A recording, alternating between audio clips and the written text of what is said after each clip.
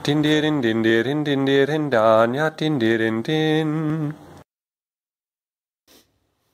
Hi, I'm Gindi Walkup, and this is the Bolognese footwork form.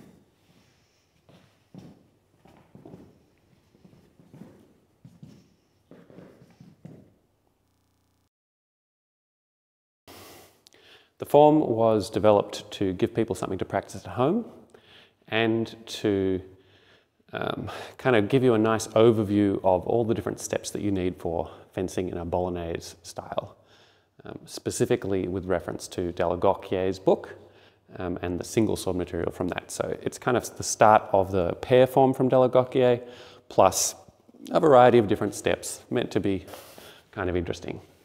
Now I'm going to show you how to do the form kind of step by step. We'll just break it down a little bit.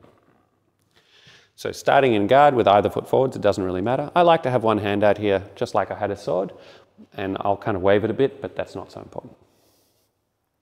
The first action is this advance of the front foot and then this pass back. From here, we're going to pass a little bit sideways, recovery step, so just a pivot in place, and then we do a traversing step, a step across the line, and another pass forwards. And then we traverse back, pivot in place to reorient on our line as if we're facing an imaginary opponent. Gather back and change which foot leads. Gather forwards and advance the front foot. Pass back twice, pass forwards once.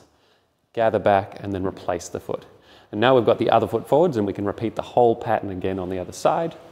So it is a sort of lunging advance of the front foot, pass back, pass and recover, traverse and pass, traverse back, pivot, gather back, change lead, gather, advance forwards, two passes back, one pass forwards, gather back, replace the foot.